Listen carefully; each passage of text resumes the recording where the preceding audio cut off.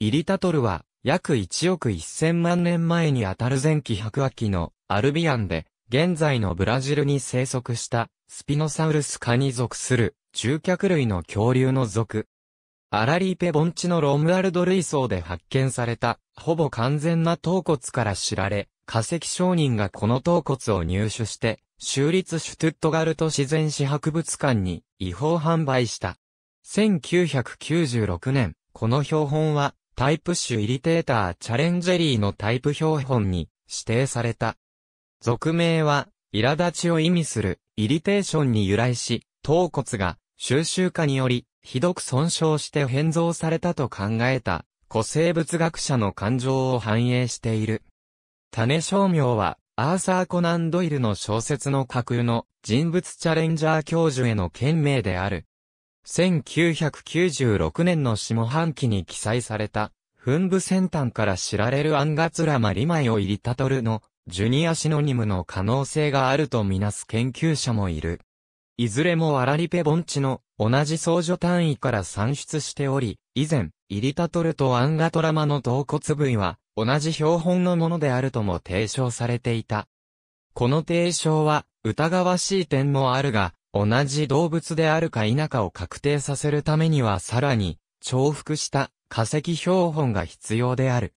ロムワルド類層から回収された他のスピノサウルス科の骨格要素にはイリタトルあるいはアンガトラマに属し得るものもあり、それを利用して2009年にブラジル国立博物館の展示用にレプリカ骨格が制作された。イリタトルは全長6の8メートル、体重約1トンと推定され、最小のスピノサウルス科の一つである。上下に浅く細長い墳部には、巨子状構造を持たずまっすぐな円錐形の刃が、並んでいた。頭部の縦方向には、四条隆起が走り、そこに、強力な首の筋肉が固定されていた可能性が高い。外尾湖は、墳部先端から、遥か後方に位置し、硬い二次口外は、接触の際に顎を強化していた。亜生体のイリテーターチャレンジェリーのホロタイプ標本は、これまでに発見された中で最も完全に保存された、スピノサウルス科の頭骨である。アンガトラマの墳部先端は、ロゼット状の形状で側方へ広がり、長い歯と高いトサカを持っていた。他のスピノサウルス科と同様に、第一種の鍵爪が肥大して、背中には、穂が走っていたことが、おそらく、イリタトルのものである骨格から、示唆されている。イリタトルは、当初誤って、翼竜とされた後、マニラプトル類の恐竜とされ、1996年に、スピノサウルス科の恐竜として同定された。ホロタイプ標本の頭骨が完全に揃った後、2002年の再記載で分類が確定した。イリタトルとアンガトラマはいずれもスピノサウルス赤に属する。イリタトルは、現在のワニのように、ジェネラリストの捕食動物であったことが提案されており、主に魚類、他には仕留められる小型動物を捕食していた可能性がある。化石証拠としては、翼竜を狩るかその死体を砂取るかして捕食した個体が知られている。イリタトルは、半水生の可能性があり、乾燥地域に囲まれた沿岸のラグーンの熱帯環境に生息していた。本属は他の肉食獣脚類だけでなく亀やワニ、大量の翼竜や魚類と共存していた。三つのスピノサウルス赤標本が発見されたブラジルの北東部地域を示す地図。アラリーペ盆地とソーン・リュイス・グラヤー盆地で上から順にオキサラやイリタトル、アンガトラマ商業化石洞窟者がブラジル北東部地域のサンタナ・ドゥ・カリリの町近くで、白亜のコンクリーションを発掘し、巨大な頭骨の後ろ側部分を入手した。化石の売買は1942年からブラジルの法律により禁止されていたが、この化石は商人により違法に、ドイツの州立シュトゥットガルト自然史博物館のルパート・ワイルドへ売却した。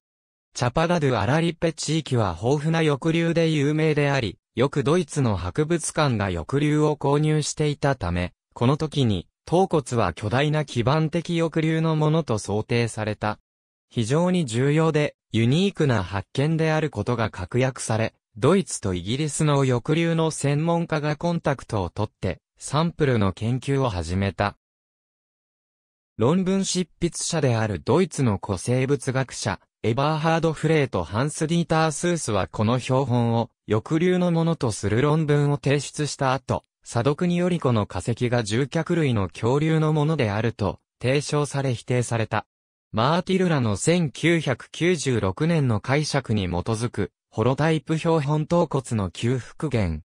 この復元に基づいた記載は後に、数多くの恐竜の書籍や百科事典に掲載された、頭骨は、ある程度速報へ平たく、化石にはよくあることであるが、部分的に破損している。右側は、保存が良く、一方で、左側は収集の間にひどく損傷を受けた。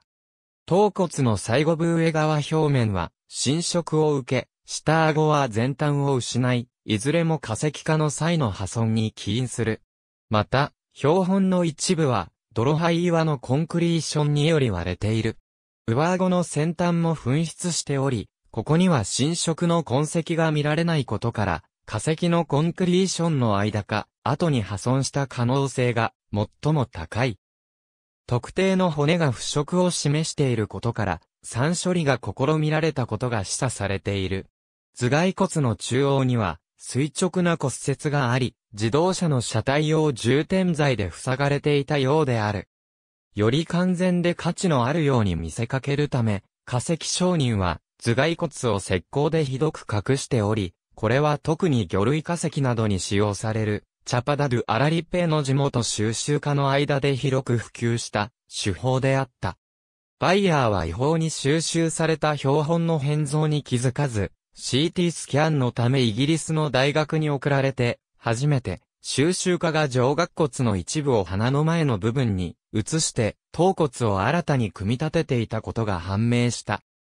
古生物学者デイビッド・ M・ マーティル、アーサー・ R.I. クルックシャンク、エバーハード・フレー、フィリップ・ G・ スモール、マルコム・クラークが科学的に記載し、SMNS58022 に指定された、頭骨は1996年に新属新種、イリテーターチャレンジェリーのホロタイプ標本となった。同論文において、マーティルらは、俗名の由来について、苛立ち、墳部が人工的に伸ばされたと知った時の論文著者の抱いた感情に由来すると綴った。種商名は、アーサー・コナン・ドイルの小説、失われた世界の登場人物チャレンジャー教授に、ちなんで命名された。その2年前には、フレーとマーティルは、クラト類層から産出した新種の翼竜、アーサーダクティルスを、小説家自身にちなんで命名していた。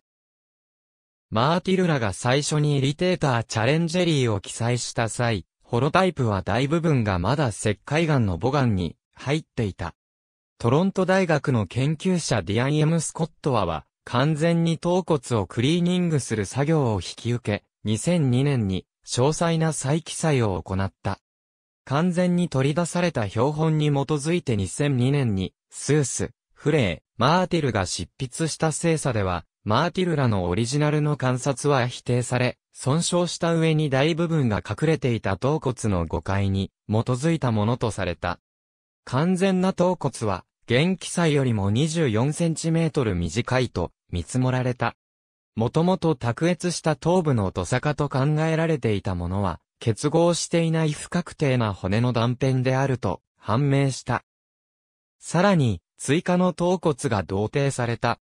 以前の研究と同様に、スースラは、アフリカのスピノサウルス属を、イリタトルに、最も禁煙な分類群とみなした。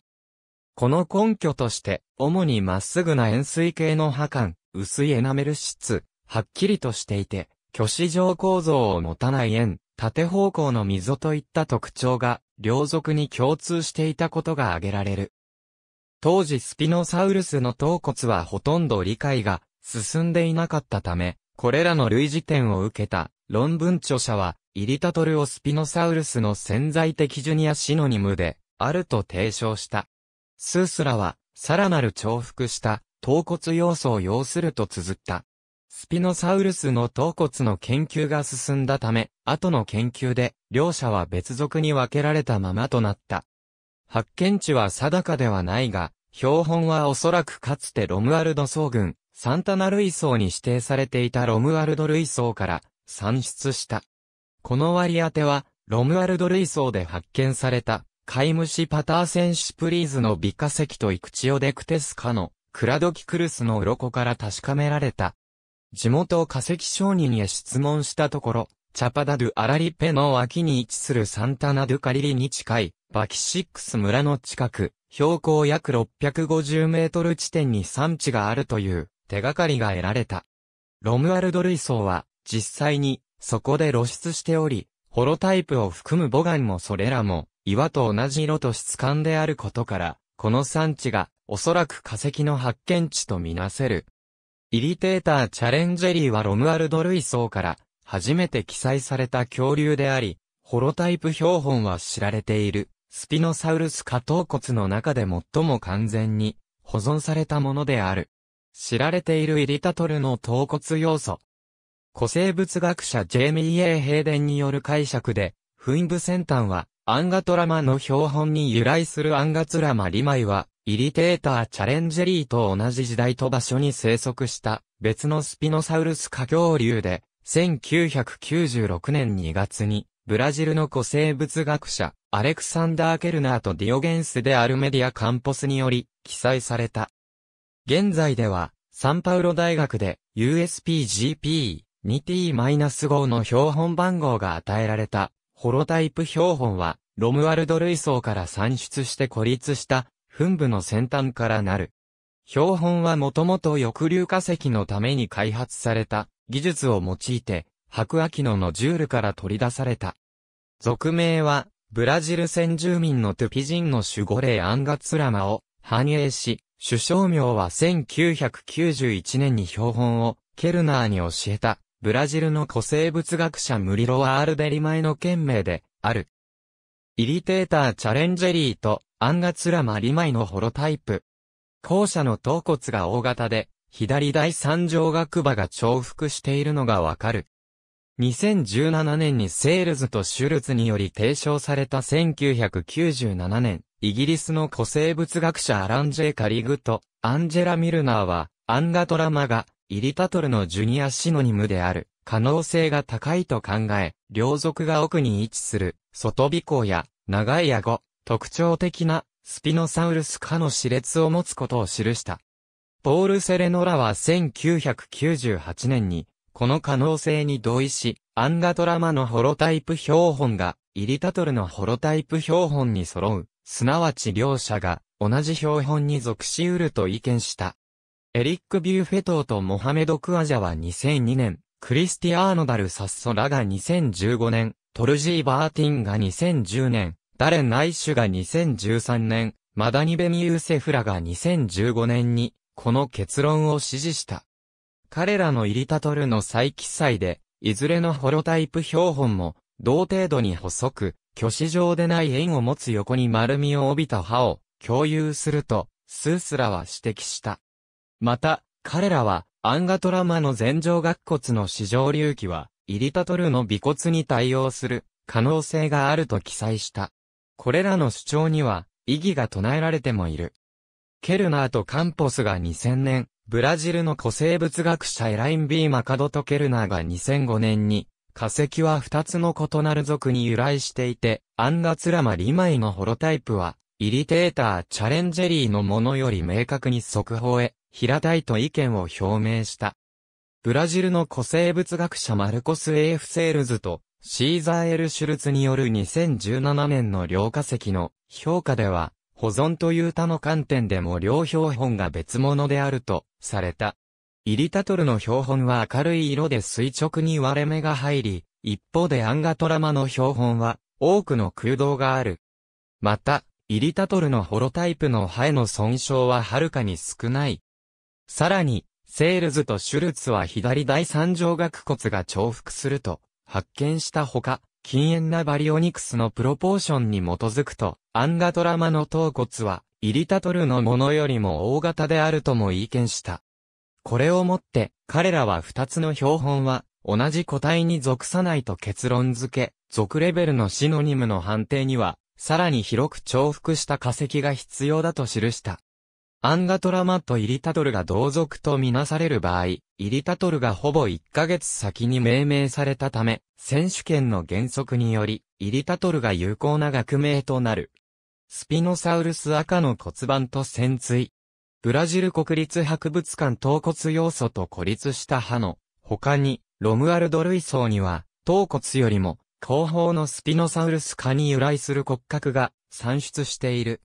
多くは、未記載であり、さらにすべてが、スピノサウルス赤に関連する。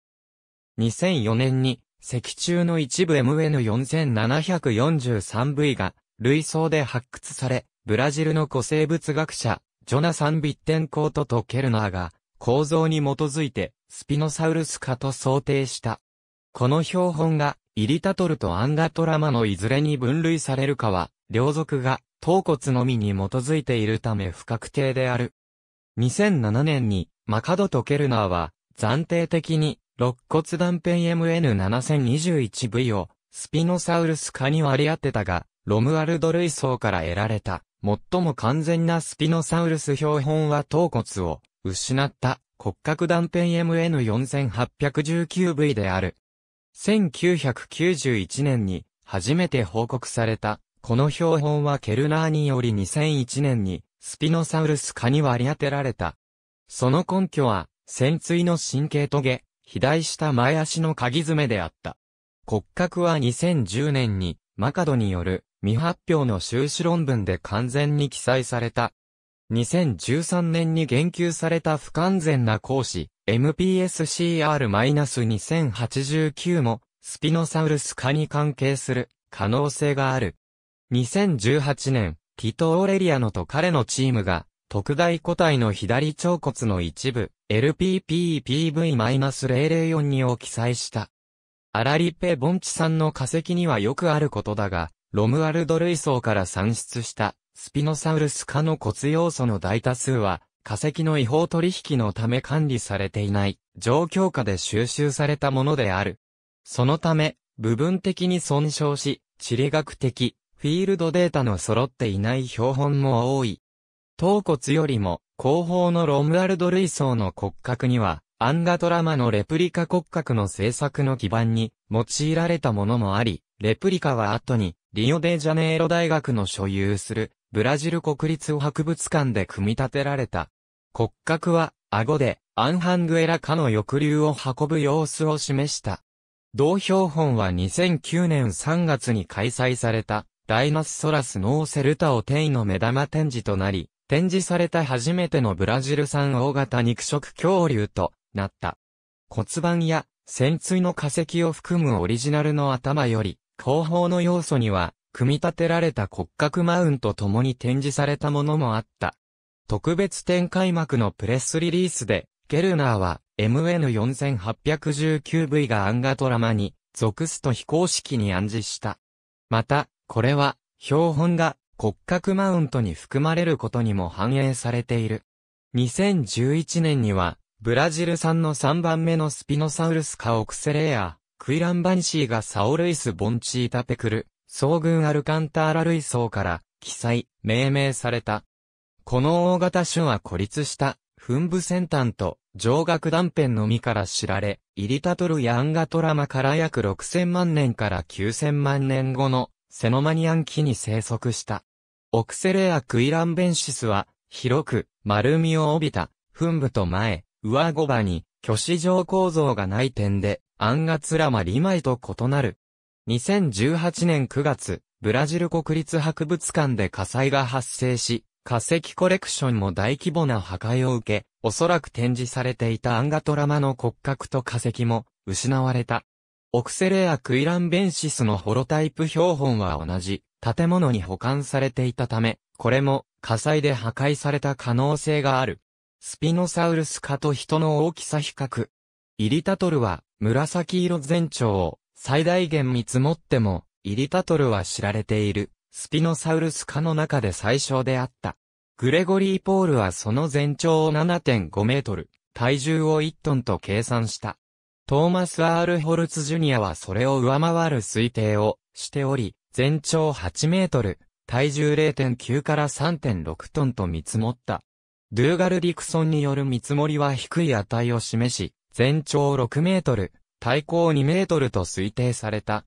オーレリアノラは比率を調整し、セールズとシュルツによる研究の復元からイリテーターチャレンジェリーのホロタイプを全長6.5メートル、アンガツラマリマイのホロタイプを全長8.3メートルととした。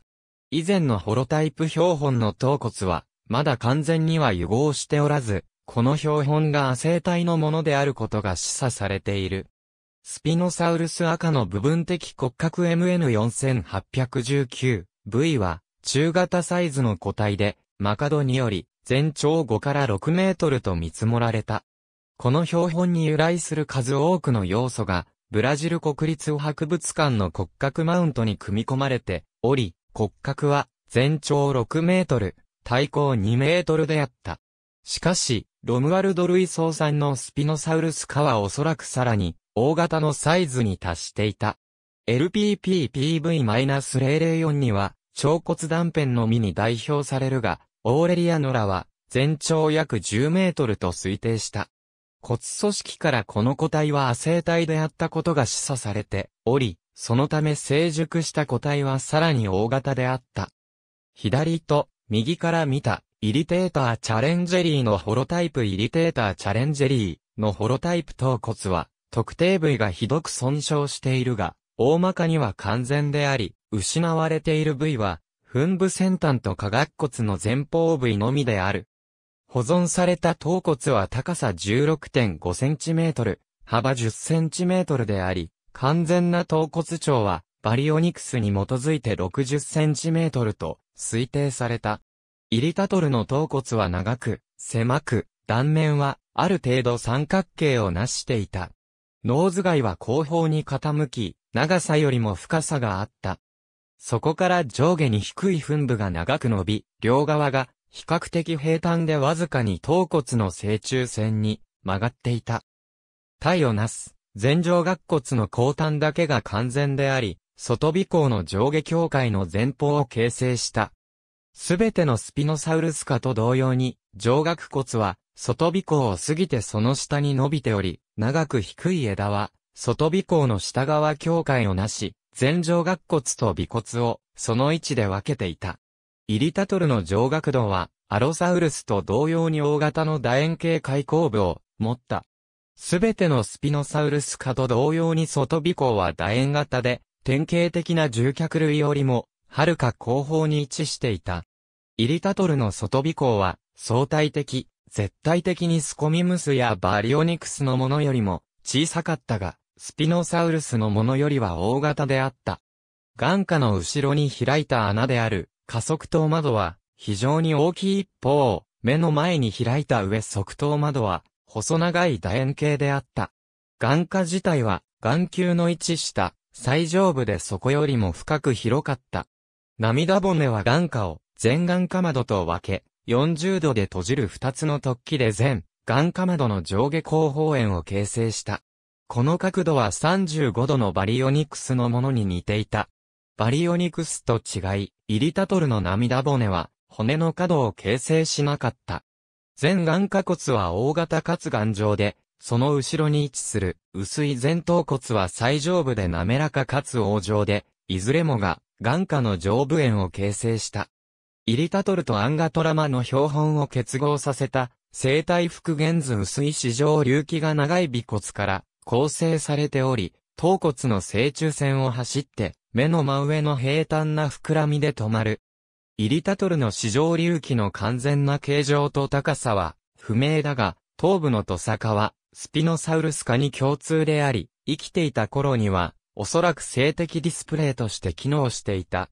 イリタトルのトサカの保存された部分は、全眼下窓の最深部の真上で、スピノサウルスのトサカに見られる、垂直な隆起を描いている。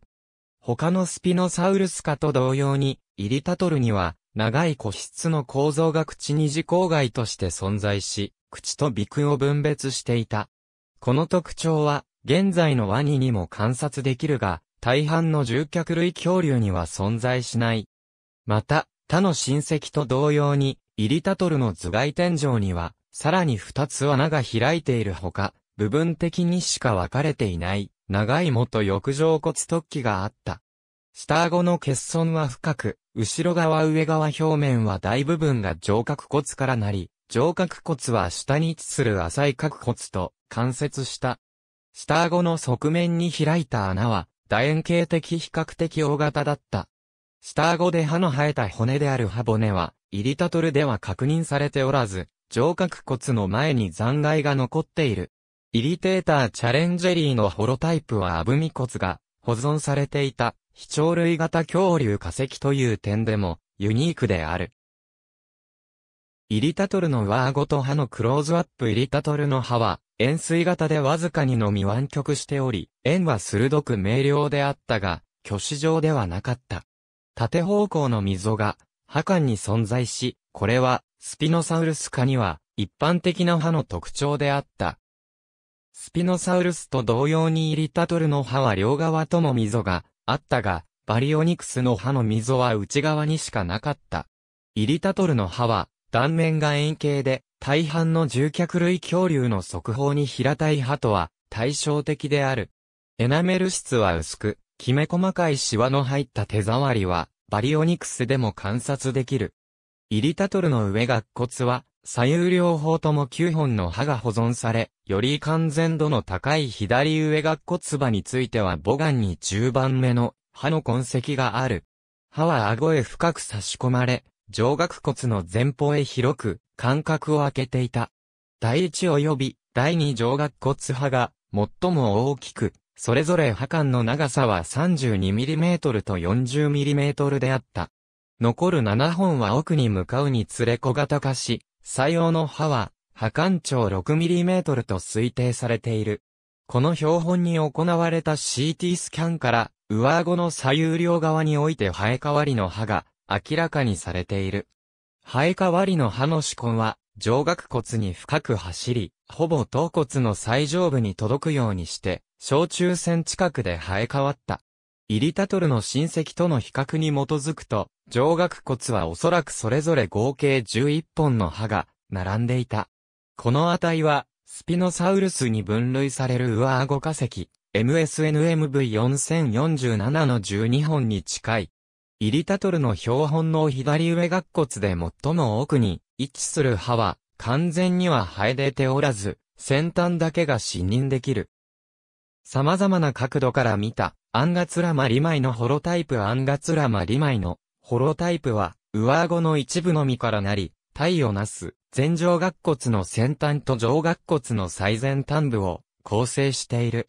標本は高さ19.2センチメートル、長さ11センチメートル、郊外領域の幅は4から5ミリメートルであった。上顎骨と前上顎骨の間の縫合線は前方でジグザグ状で、後方でまっすぐであった。前上顎骨の加速円は、王状で、くぼみには、第六前上顎骨波の頂点が届いた。墳部の前方は広がり、スピノサウルス科に特徴的なスプーン型末端ロゼットを形成した。この前上顎骨の下側のくぼみは突上に肥大した下顎骨先端と噛み合わさった。前上顎骨は互いに最底部でつながり、アンガトラマの二次口外を形成した。二次口外は上顎骨から伸びる二つの突起にも部分的に寄与された。墳部は側方に強く潰れ、前上顎骨は穏やかに厚さ1から 2mm の市上隆起から最上部に向けて細くなった。市上隆起は他の知られているスピノサウルス科よりも大型かつ前方に伸びていた。前上顎骨の最前方上側境界は小さく、膨らんで隆起の基部に張り出した。この膨らみは見たところ上側表面が損傷しており、市上隆起の最上部が、その点よりもさらに、上や前に伸びていた可能性が示唆されている。アンガトラマの墳部の全側縁は垂直にまっすぐ、あるいはくぼんでおり、これは他のスピノサウルス科の滑らかに傾斜した墳部からすると異様である。前上顎骨では、破損した歯が部分的な破管が発見されている。大きく伸びた、まっすぐな刃には、巨子状構造のない円錐形の破管が備わり、長さ 40mm で、単一で骨に埋め込まれていた。これにより、これに続く刃の配置は古い刃の間に新しい刃が放出したことが示唆されている。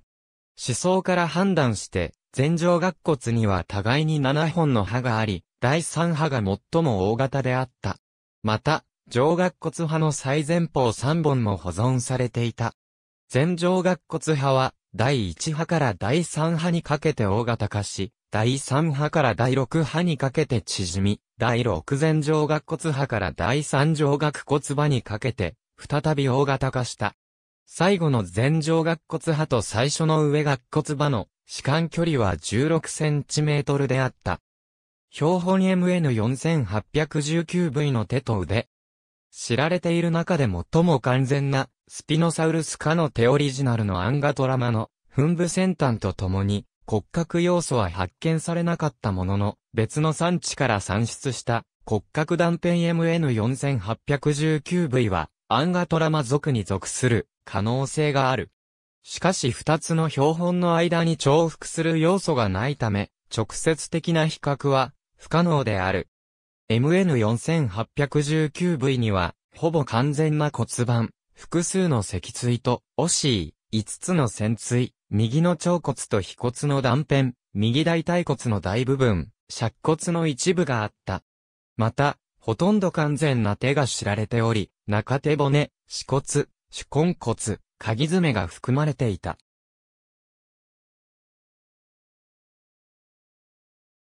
すべてのスピノサウルス科と同様に、第一種の鍵爪は強くカーブしていて巨大であった。骨盤は保存が良く、右側は左側よりもよく関節した。融合した線椎がまだ骨盤についており、恥骨と座骨の円位端は失われていた。腸骨は長さ55.3センチメートルだった。腸骨の前肝骨薄翼は、そこで曲がり、後肝骨薄翼よりも、幾分短く深かった。前肝骨薄翼は、前方で大きく、対照的に後肝骨薄翼は細長かった。後肝骨薄翼の底に位置するくぼみである、ブレビスフォッサは、座骨の後側縁を成した。恥骨には、比較的大型でほぼ閉じた閉鎖切れ根があり、恥骨の後方部位の加速縁で、閉鎖神経の通り道になっていたことが示唆されている。潜水の上に突出した神経トゲは長く、スピノサウルス科に典型的であった。生きていた頃には、これらは皮膚で覆われて背中に頬を形成していただろう。MN4819V は長く浅い、腸骨の上側縁が上に曲がっていないことから、スコミムスと区別され、座骨の底にブレード状の発達した閉鎖隆起を持つことで、バリオニクスと区別される。マーティルと彼のチームはもともと、イリタトルをマニラプトル類のブラテゾーリアに分類し、羽毛の生えたオルニトミモサウルス類やトロードン科と禁煙とした。歯の形態、特に長い吻部、そしてヒレ状のトサカが他のマニラプトル類に知られていなかったため、研究者は新しいトガとしてマニラプトル類にイリタトル科を設立した。彼らはイリタトルとスピノサウルスが似た形状で巨子状でない歯を持つという類似性を認めたが、スピノサウルスの下顎は、イリタトルの上顎と一致せず、コンプソグナトゥスやオルニトレステスのような他の、非鳥類型恐竜も巨子状構造のない歯を持っていたと記述した。ケルガーは、頬骨が全眼下窓の一部を形成するという当時のマニラプトル類に見られる固有派生形質を書いていると発見し、1996年にマーティルらの研究に疑問を投げかけた。また、彼は、イリテーターチャレンジェリーのホロタイプに噴部先端がないためスピノサウルスの歯骨が一致するか否かを知るのは不可能であろうとも指摘した。スピノサウルスとの比較に基づき、ケルナーは、イリタトルをスピノサウルス科とし、イリタトル科をスピノサウルス科のジュニアシノニムとした。イリタトルは、その後、アンガトラマ、バリオニクス、スコミムス、スピノサウルスと共に2003年に、オリバー W.M. ローハットによりバリオニクス科に分類された。トーマス・ホルツらは2004年に、バリオニクス科を、スピノサウルス科のシノニムと考え、これらの属を、スピノサウルス科へ移した。後の研究も、この分類を支持した。スピノサウルス科として、イリタトルとアンガトラマは、メガロサウルス上科に位置づけられ、スピノサウルス科はおそらくメガロサウルス科の姉妹群である。イリタトルと他のスピノサウルス科の頭骨要素のダイアグラム。外尾港の相対的位置を比較している1998年、セレノラは、スピノサウルス科の二つの赤を頭骨と歯の特徴に基づいて定義した。彼らは、スピノサウルス赤に、スピノサウルスとイリタトルをバリオニクス赤に、バリオニクスとスコミムスを呼び、クリスタトゥサウルスを分類した。スピノサウルス亜科は、歯が巨歯状でなくまっすぐであり、間隔が広く、前上顎骨の最初の歯が小さい。2005年に、ダル・サッソらは、イリタトルの外鼻孔が上顎骨歯の中央の真上に位置し、これは、バリオニクスよりも、後方でスピノサウルスよりも前方であると推測した。2017年にセールズとシュルツは、イリタトルの外鼻孔が実際には、バリオニクスやスコミムスと同様に顎の前方に近く位置することを発見した。外鼻孔が前方に位置することは、バリオニクス亜科に典型的な特徴と考えられていた。しかし、イリタトルは、巨歯状でない歯を持ち、これは、スピノサウルス亜科に関連する特徴である。セールズとシュルツは、アラリペ盆地のスピノサウルス科であるイリタトルと、アンガトラマが、バリオニクス亜科とスピノサウルス亜科の中間形態を代表する可能性があると記し、さらなる研究により、バリオニクス亜科は、側系統群になり得るとも綴った。イリタトルは上顎骨派の本数が半分をわずかに上回る程度であることからバリオニクスやスコミムスを呼び、クリスタトゥサウルスと区別され、外尾行が大型で、前方に位置し、前上顎骨で形成されていることからスピノサウルスとも区別される。狭い市場景観は、全頭骨上のノブ状突起に終わり、これもイリタトルを他のスピノサウルス科から区別する固有派生形質である。アンガツラマリマイの墳部は一般的に他のスピノサウルス科よりも狭いが、これは化石化の際の変形の可能性がある。ホロタイプ標本は加速円が部分的に潰れて破損しており、保存された葉は長さに応じて折れていた。それゆえアンガトラマの固有派生形質は、市場景観だけが有効である。市場景観は、墳部の前方へ伸び、他のスピノサウルス科よりも強調されている。インドガビアルの頭部。イリタトルの頭部との類似性がある1996年、マーティルラは、イリテーターチャレンジェリーが長い墳部と巨子状でない、円錐形の歯を持つことから、少なくとも、部分的には、魚食性であった可能性が高いとした。ホロタイプの形態の多くは彼らの考えていたものと大きく違ったものの、後の研究はこれらの観察結果を支持した。スピノサウルス科の顎は狭く長く、同派性の尖った歯を持ち、最も魚を食べる原生ワニのインドガビアルにも特に見られる配列であった。スピノサウルス赤の円錐形の長い歯は、巨子状の円を持たず、獲物を刺して確保するのに適していた。これらの歯は、肉を切り裂くのに向いた、他の獣脚類のものとは異なった。復元された頭骨と首のクローズアップイリタトルは、硬い二次口外と小さな前眼かまどがワニと共通した。2007年にイギリスの古生物学者エミリー・ジェイ・レイフィールドらが有限要素法研究により、これらの性質が他のスピノサウルス科にも存在し、接触の際の獲物によるねじりの力に対する頭骨の抵抗性が高まったと発見した。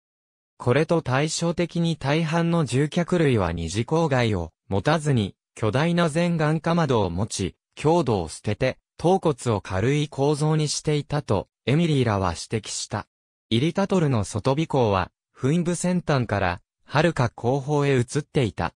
これは、口の内側と鼻腔を分ける二次口外とともに、獲物を抑えている時や水中でも呼吸ができるようにしていた。特に、イリタトルの二次口外は、首の筋肉が卓越していたことを示唆しており、これは、水の抵抗に逆らって素早く、顎を閉じることと、急速に頭を引っ込めることに必要とされた。2015年、ドイツの古生物学者セルヨスカ W. エバースらは、同様の適用がアフリカのスピノサウルスかシギルマッササウルスにも見られると発見した。この属の頸椎は下面に幾重もの溝が入っている。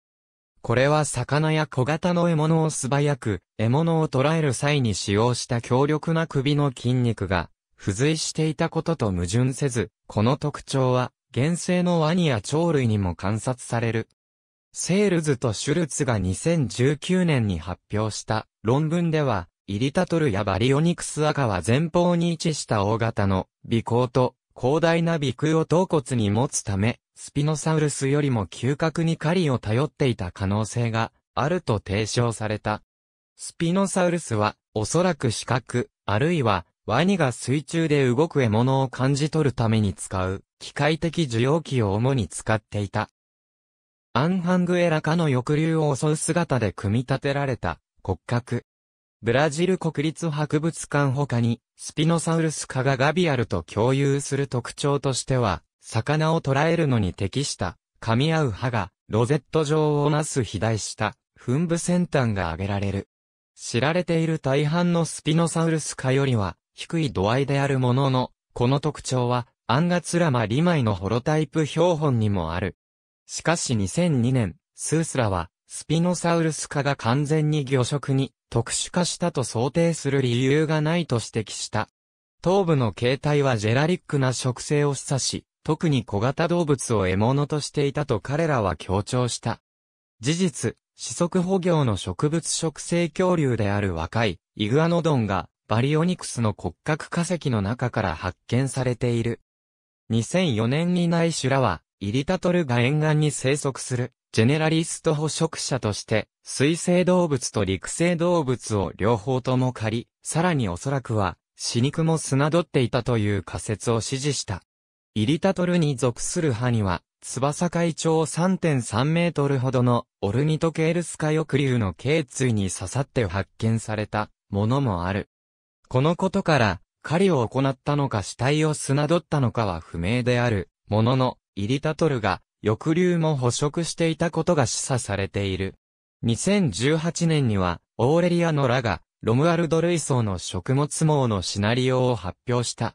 ロムアルド・ルイソーさんのスピノサウルス赤は陸生及び、水生ワニウアメ、カメ、小型から中型の恐竜を捕食した可能性があると彼らは提唱した。スピノサウルス赤はこの生態系における頂点捕食者であっただろう。同位体解析や骨組織のような技術を用いた研究から示されるように、多くのスピノサウルス科は半水生であった可能性が高い。彼らがおそらく水生の獲物や環境といったアドバンテージを得て、明確な生態的地位を占め、より陸生の獣脚類との競争を避けていたことが判明している。スピノサウルス赤はバリオニクス赤よりも、そのような生態に適していたらしい。イギリスの古生物学者トーマス・ウェム・エス・アーデンらによる2018年の研究では、水生の特徴を探るためスピノサウルス赤の形態が調査された。イリタトル、スピノサウルス、シギルマッササウルスの前頭骨がアーチ状で最上部がくぼみ、全部で狭くなっていることを彼らは発見した。これらの特徴は、目が他の獣脚類よりも上に位置していたことに帰着する。特に大半の獣脚類では眼下は側方に面していた一方、イリタトルは広い下顎と狭い前頭骨により、頭蓋骨の正中線に眼下が急勾配で面した。これらの特徴により、イリタトルは水に浸かっても、水面より上を見ることができた。2018年、オーレリアノラは、ロムアルド・ルイソーの腸骨断片に解析を行った。サンカルロス大学での標本の CT スキャンにより、骨硬化の存在が明らかにされた。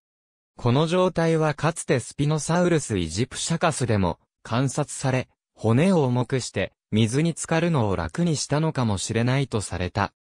この状態がブラジルの足断片にも見られたことは、少なくともスピノサウルスが1億年前のエジプトに出現した頃には、コンパクトな骨がすでにスピノサウルス赤で進化していたことを示している。禁煙種との比較により生命体の未知の特徴を推定するのに用いられる手法ファイロジェネティック、ブラケティングによると、骨硬化は、スピノサウルス赤では、標準的なものであった。これらの特徴の重要性は2018年の後の論文で疑問視され、カナダの古生物学者、ドナルド・ヘンダーソンは、同論文で骨硬化は、獣脚類の浮力に大幅に影響しなかっただろうと、意義を唱えた。東部の復元髄リタトルとアンダトラマは、ロムワルド類層から知られ、層の岩石は、約1億1000万年前の前期白亜紀、アルビアンまで遡る。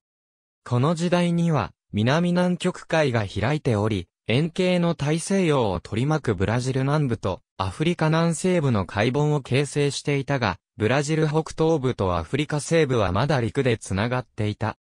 ロムアルド類層は、サンタナ層群の一部で、イリタトルが記載された頃は、サンタナ類層とされていた層の武装と考えられていた。ロムアルド類層は、化石が素晴らしい状態で保存される、堆積層であるラーガーシュテッテで、血岩に埋め込まれた、石灰岩からなり、クラト類層の上に横たわる。石灰岩中に化石が立体的に保存されていることで有名であり、多くの翼竜化石でも知られる。翼竜や恐竜の筋繊維に加え、エラや消化物、心臓を保存した魚類も発見されている。この層は、海水準の変動サイクルと競合する不規則な淡水の影響を受ける沿岸のラグーンであったと解釈されている。この層の気候は熱帯で現在のブラジルの気候に大まかに対応している。層を取り巻く地域は乾燥地帯ないし半乾燥地帯で、大部分の植物賞は完成植物であった。ソテツ類と絶滅種の球果植物門のブラキフィルムが最も広がった植物であったロムアルド累層の環境で沿岸を歩くイリタトルの復元図当時の環境はアンハングエラ、アラリペダクティルス、アラリペサウルス、ブラシュレオダクティルス、ケアラダクティルス、コロボリンクス、サンタナダクティルス、タペアラ、タラッソドロメウス、トゥプクスアラ、バルボサニア、マーラダクティルス、トロペオグナトゥス、アンウィンディアなどの翼竜が支配的であった。イリタトル以外で判明している恐竜の動物賞は、ティラノサウルス上科のサンタナラプトル、コンプソグナトゥス科のミリスキア、未童貞のウネンラギア赤のドロマヨサウルス科、マニラプトル類に代表された。アラリーペスクスやカリリスクスといったワニ形ウアメや、ブラシレミス、ケアラケリス、アラリペミス、エウラキセミス、サンタナケリスのような亀が、堆積層から知られている。また、カエビ、ウニ、カイムシ、軟体動物も生息していた。保存の良い魚類の化石記録としては、ヒボドゥス科のサメ、エイ、ガー、アミアカ、オスニアカ、アスピドリンクス科、クラドキクルス科、ソトイワシ科、サバヒイカ、マウソニアカや、未童貞の種が挙げられる。内種らによると、植物食恐竜がいないことは、食性が乏しく大規模な集団を維持できなかったことを意味する可能性がある。個体数の多い肉食獣脚類は、その後豊かな水生生物を主要な食料源に変えた可能性がある。また、嵐の後には、翼竜や魚類の死骸が海岸線に打ち上げられて、獣脚類に膨大な腐肉が提供されたとも彼らは仮説を立てた。層には複数の魚食動物が生息し、熾烈な競争が起こった可能性もある。オーレリアのラは動物たちが間違いなくある程度生態的地位を分けていたと主張した。この見解では、ラグーンの中で動物たちは体格と生息地に合わせて獲物を変えていた。1億1300万年前から9390万年前のアルビアン・セノマニアンに由来するスピノサウルス科の化石が発見されたバショロムアルド類層とクーラト類層の動物賞は白秋中頃のアフリカの動物ショーと類似しており、アラリペ盆地がテチスカイと繋がっていたことが示唆されている。ただし、アラリペ盆地に海洋無脊椎動物がいないため盆地の堆積物は海洋性ではなかったことが示されており、テチスカイとアラリペ盆地のつながりは散発的であった可能性が高い。スピノサウルス科はすでに前期白亜紀の間に拡散を遂げていた。セレノラは1998年にテチス海が開いたためスピノサウルス赤が南で、バリオニクス赤が北で進化したと提唱した。これに続き、2005年には、マカドとケルナーが、スピノサウルス赤は、アフリカから南アメリカへ広がったと仮説を立てた。セレノラは、南アメリカとアフリカでのスピノサウルス赤の分岐進化は、大西洋に起因する可能性が高いと推論し、大西洋の開口部が徐々に大陸を隔てて、両分類群の際につながったとした。同様のシナリオは2014年に、ブラジルの古生物学者マヌエル・エメデーロスらが、アルカンターラ類層の動物賞に提唱しており、この層では、オキサライアが発見されている。しかし、スピノサウルス科の古生物地理学は、仮説の段階かつはるかに不確定のままであり、アジアとオーストラリアでの発見によりさらに事態は複雑であることが示唆されている。イリテーターチャレンジェリーのホロタイプ標本の化石化の過程は複数の研究者が議論してきた。頭骨はそばに横たわるようにして発見された。化石化に先駆け、頭蓋空の後ろのいくつかの骨、歯骨、粘骨、右甲骨、下顎の右の角骨が失われた。他の骨は、ほとんどが後頭部に由来し、分離して、頭部の別の場所へ分散して埋没した。2004年にナイシュラは、ロムアルド類層の恐竜の動物ショーは、海岸線か川で死亡して海へ運ばれ、漂った末に化石化した動物に代表されていると主張した。2018年にオーレリアのラはこのシナリオに異議を唱えた。